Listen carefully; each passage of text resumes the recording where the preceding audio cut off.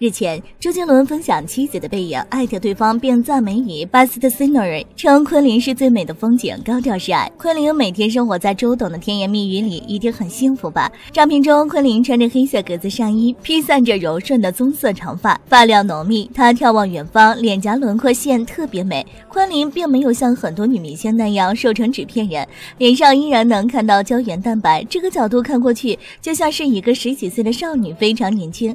昆凌在看。美景，而周杰伦却在背后偷拍昆凌，陶醉在她的美颜当中。更有真爱粉将昆凌的照片画成了漫画，大概是觉得她有点孤独，把周杰伦也一块画上去，简直太窝心了。周杰伦转发让更多人看到，可见这幅画很满意。随后他分享了一张自拍，身穿白色涂鸦连帽卫衣，站在一间小木屋旁比剪刀手，络腮胡子没有剃，略显慵懒。照片背景是绿树、草坪和阳光，相当有意境。欢就订个月呗。